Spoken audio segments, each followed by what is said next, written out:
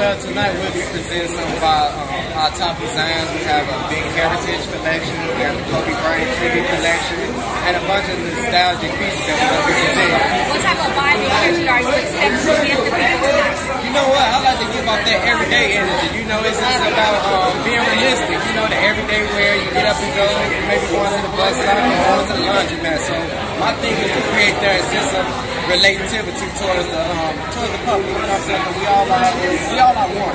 Tell the people something that you would tell uh, up and coming designers that's in the industry. What kind of advice would you have for them right now? One thing I to say is to align yourself with the like mind. You know, you want to connect yourself with the people that understand your vision. We all come from a ground where we kind of learn as we go we all have different aspects of our lives that we kind of got that expertise thing. That's how I started. You know, talking to a kid that don't have no fashion background none of that. And I actually designed for my day job. You know, I used to be a sanitation lady back in Chicago.